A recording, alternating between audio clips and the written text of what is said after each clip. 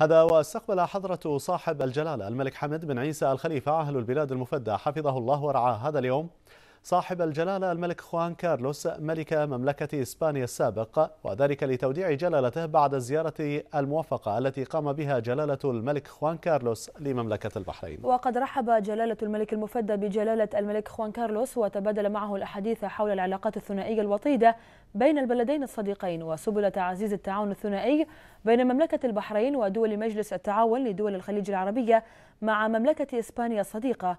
وكلفه جلالته بنقل تحياته إلى صاحب الجلالة الملك فيليب السادس ملك إسبانيا وتمنيات جلالة الملك المفدى لمملكة إسبانيا وشعبها الصديق دوام التقدم والرقي.